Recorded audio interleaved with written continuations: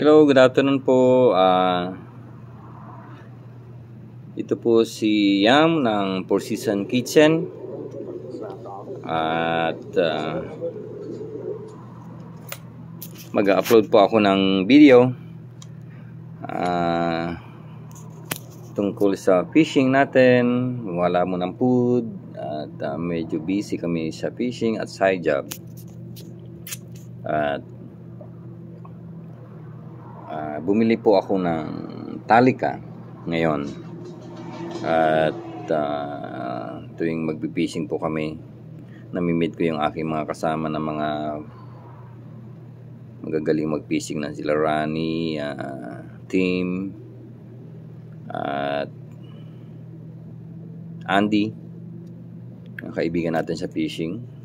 At ang aming grupo naman, ang Pinoy Anglers na si Jeff, uh, Jong, and Harry, and Tom, and me, and my brother, and Daniel.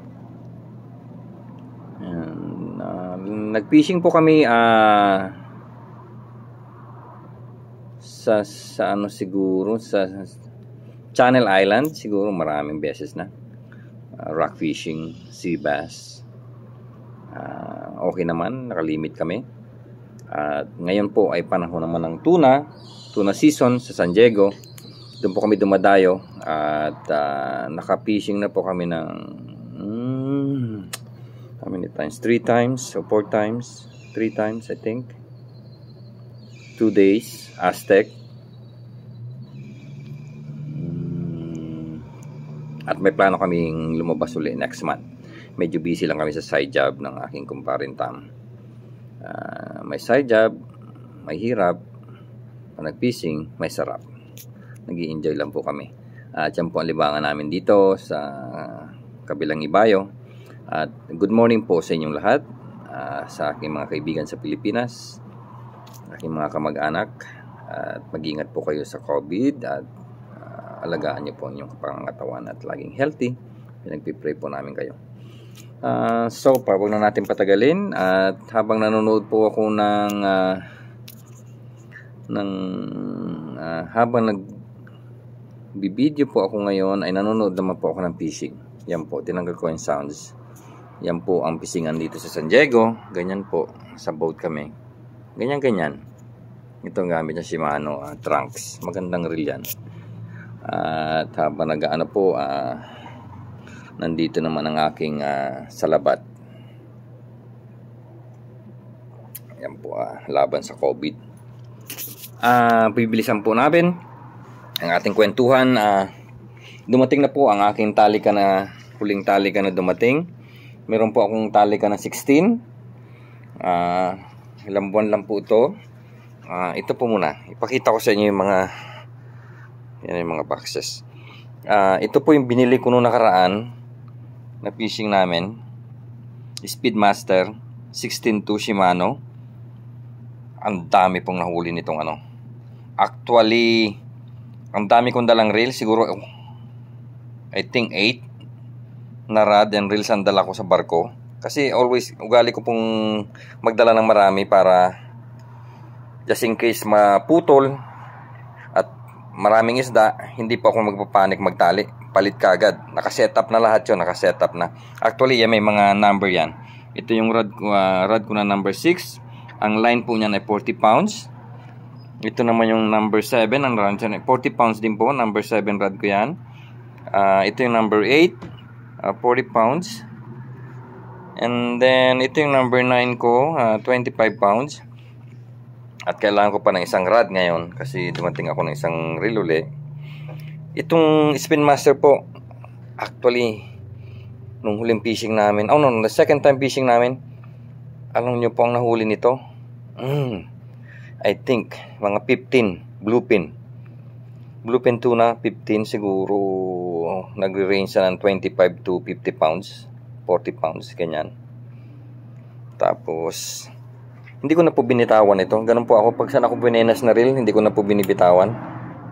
At, andito yung akin Talica 16 uh, tawag dito 2 speed another uh, Talica 16 2 speed. Uh, at ito yung aking bagong uh, Lexa uh, 400. Uh, yung isa ko ay 8.1. Ito naman 7.1. Medyo mabagal ng konti pero smooth. Uh, ito yung ginagamit ko pag uh, may boiling or something uh, uh, nasa school kami ng tuna. Magbabato uh, po kami ng uh, magbabato kami ng lures. Yan yung mga gamit namin lure yan iba-iba. Uh, yan pa yung iba. Yan yung iba. At saka yung iba ito pa yung pantuna ko iba naman yung pang uh, nasa isang bag yung ano ko eh pang uh, rockfish ah uh, ito uh, loaded to ng 65 pounds uh, braided, another 60 pound band braided. Ito loaded din ng 65 pounds. Usually lahat yun ng halos lahat itong bagong reel na dumating ko. Nilagyan ko ng 65 pound except this one. I think uh, this is uh, J-bread uh, 50 pounds. I think this one is uh, hmm, I forgot. At saka ito yung uh, huling uh, ngayon po dumating itong aking bagong uh, Talicat 12 uh, Shimano 2 uh, speed lahat lahat naman po 2 speed ito except this one sa bait casting ko uh, napakaganda uh, solid po ang bayad medyo may presyo kasi yung pangkaraniwan na reel parang doble ang price nito pero for life na po ito hindi na ako bibili pa ng ibang reel kundi ito na lang at yung ibang reel ko siguro, pag uwi ko, may pamamanahan ako. Yung ibang reel na pamana ko na sa iba at may bibigyan pa ako sa Pilipinas. Uh, hindi ko sabihin kung sino. Surprise pag uwi ko ng Pilipinas. Uh, loaded din to ng sa 65 pounds yan.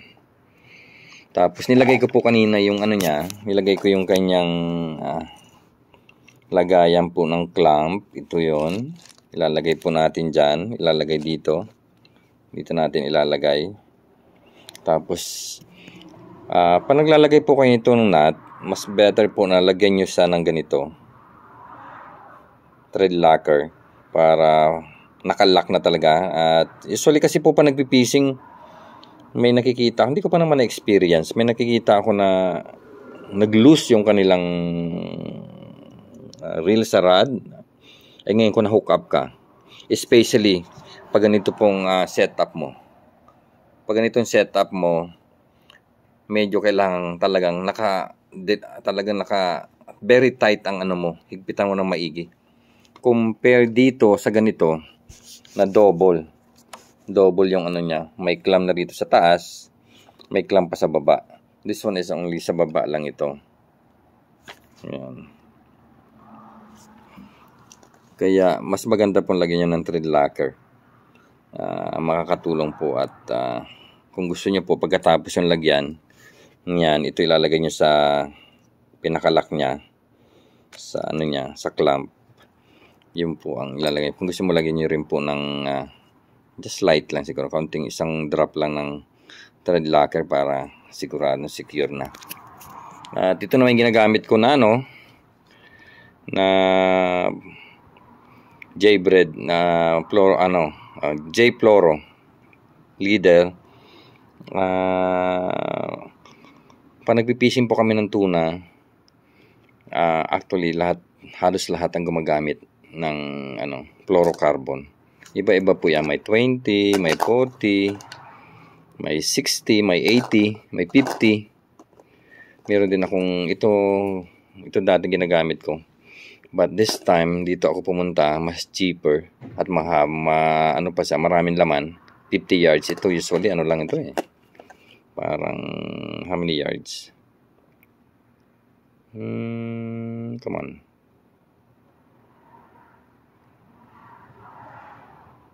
Fifty yards din daw. Yung iba, yung iba ko is parang 20 o half lang. Ah, uh, Uh, abangan niyo po yung ano, nag, ang nangyari po kasi, Ah, nag ano kami, nag-fishing kami. Dala ko yung aking ano, dala ko yung aking ah, camera, yung GoPro ko. Ah, anong nangyari? Ah, akala ko naka-on. Naka-on. Hindi katulad nito, oh, naka-on yung kanyang ah, camera habang nagpi-fishing. Yung sa akin kala ko naka-on ay nag ano na, nagprensi na. Nagkagata na ang tuna. Naku, taranta na. Nataranta na. Hindi ko na alam kung ano, kung gumagana ba o hindi. Eh, when I got home, and I check, wala, walang laman yung action. Yung unang fishing ko lang, yung unang video ko sa umaga, yun lang. Tapos nung huli, wala na. Hindi na, yung mga action talaga na pisingan, eh wala. Wala nang ano, hindi ko na na-videohan. Kaya, ay nako, talagang wala akong na, na, uh, na-upload. Na-upload sa ano, sa, just wait, okay.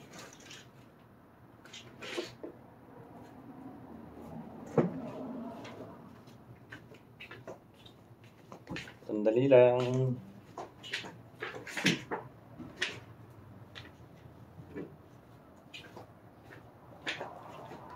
Tapos, uh, pasensya na.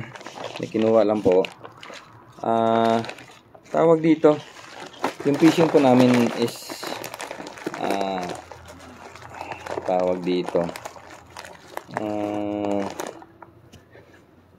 nagahan po kami ng ano, ng nung first fishing namin uh, boiling uh, foaming uh, yung ibig sabihin yung ano prensing isda lumalabas kumakain ng mga ng sardines pag ando ng sardines ando ng isda ando ng ibon doon na po kami nagpi-fishing nung second fishing namin uh, Aztec uli 2 days uh, worth yan ng 615 for 2 days free food na po yun and, uh, including na yung license and bank.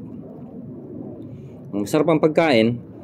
And yung second trip namin sa Aztec, hindi masyado maganda. Alam mo kung bakit. Instead, nag-stay kami ng California waters. Pumunta po kami ng Mexican waters. Anong nangyari? Naghunt po kami ng uh, kelp.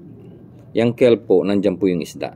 Pag nakakita kami ng kelp, uh, magcha-cham yan, tapos, pag merong nag-boil, dyan na po yung isda. Dyan na po yung fishing. Anong nangyari? Uh, ang tagal ng takbo, takbo ng takbo, hanap lang ng hanap. Actually, hindi na kami nag-enjoy kasi nga malimit kami. Pero actually, keep ano lang, driving and driving lang. Nakaka-bored yung ganong. Instead na mag-stay kami ng California Waters na andun ang tuna, bluefin tuna, uh, mas maganda ang labanan. Doon sa second trip namin is uh, Yellowtail and Dorado.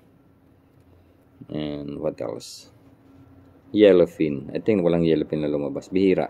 Oh, yellowfin niya. Yellowfin. And, pero maliliit. Maliliit.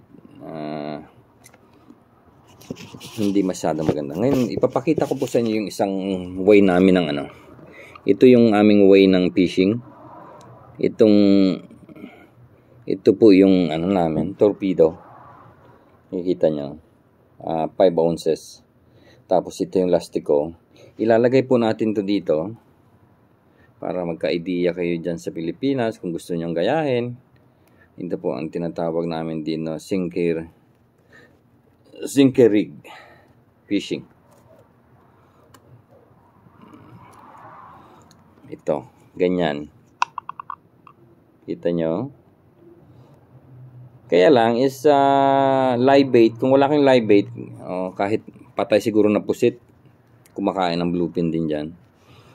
Uh, itatali niyo po to sa line. Siguro pakawalan yung ano, uh, pagtapos niyo ng fluoro, carbon, yung dugtungan, itatali niyo po ito doon at dahan-dahan niyo po siyang ibababa. Dahan-dahan niyo siyang ibababa. Kasi pag binilisan niyo, magbubuhol-buhol. Dahan-dahan niyo ibababa. And later on, yun na bite. Yun na, laban na kayo. Ito po yung isang tinatawag namin na single rig. Yung isa naman ply line. Uh, yung ply line po is uh, live bait ang gamit namin. Sardines. At uh, itatali niyo sa chan, sa palikpik niya sa batok, or sa ilong. Doon po niya ilalagay para humaba ang buhay ng isda, ng pain. At kailangan pipiliin niyo yung pinakamabilis at pinakamalaking pain sa sa barko para mas mabilis ang pain, mas na na-attract ang tuna. Hahabulin niya, kakainin niya.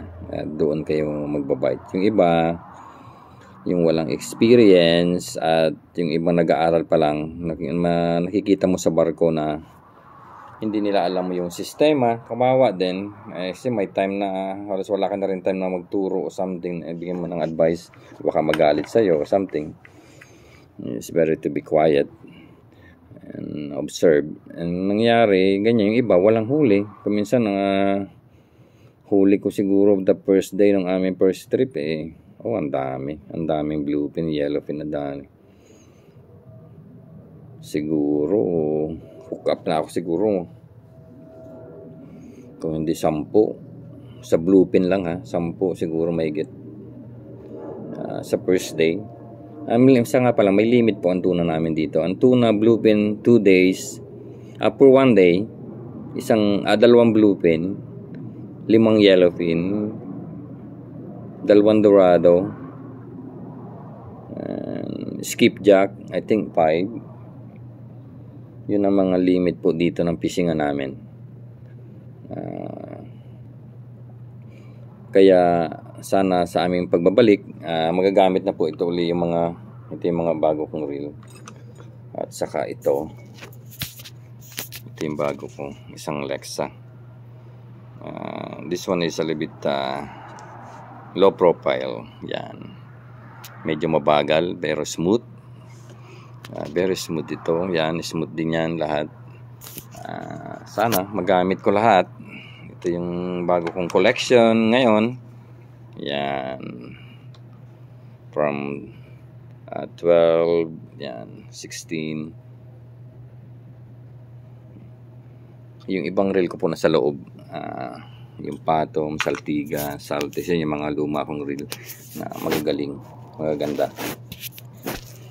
Uh, sana po uh, nag-enjoy kayo, may makuha kayong uh, uh, kaunting uh, natutunan uh, sa fishing. Uh, pag fishing po, uh, kuminsan uh, pinagpipray lagi yan na talagang mas maganda po ang nagtatanong.